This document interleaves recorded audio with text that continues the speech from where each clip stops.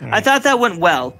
Yeah, if I'm getting a little impatient, it's because you're so No, overpowered at the point. I just want us to move forward. There's no reason for us to putz around too much.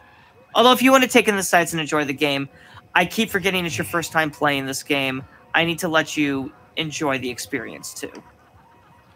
Well, there's there's that. Plus, remember, I've been doing the same thing for. So I I don't want to ru- like like when I used to beat a boss in Dark Souls three. And then I would come out, and then, oh, look at this! This is just a field. Watch me, you know. And I would get my ass kicked. So it's it, don't mistake don't mistake for just just having a healthy respect for my enemies and not. And this is all new. It's a new area, and these are new enemies for me.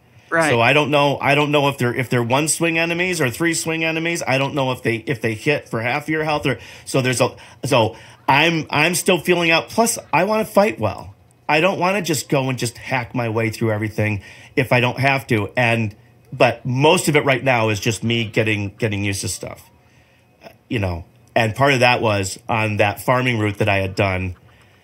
There was a there was a period of time there I was getting my ass kicked a lot because I sort of I, I kind of lost my respect for everything and I just thought I was just gonna rah, rah, rah, rah, and and you know and they still they still got you for half your health if they hit you, you know. And so it's it, it- you know so you you learn when you lose respect for this game you relearn it very very quickly if you're paying attention. So that's where I'm coming from.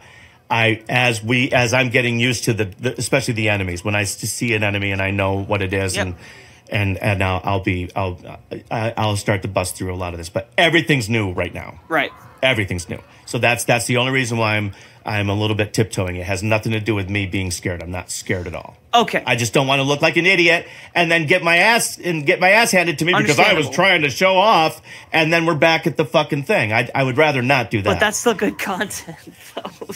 I would rather do that against bosses, not not like a bitch in the street because I'm chatting it up. Because you're That's chatting that's it the difference. So, all right. Dude, how many- Yeah, I dude- say that I say that as I'm as I'm grabbing my. It, I figured you. I figured your chest was just itchy.